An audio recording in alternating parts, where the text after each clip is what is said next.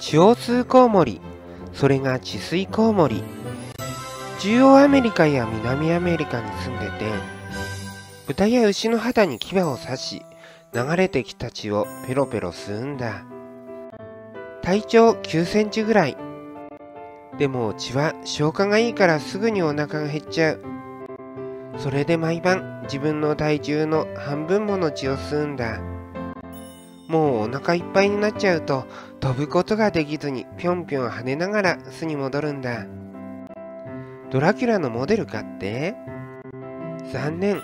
ドラキュラ伝説って東ヨーロッパだよね。だから全然つながりはないんだ。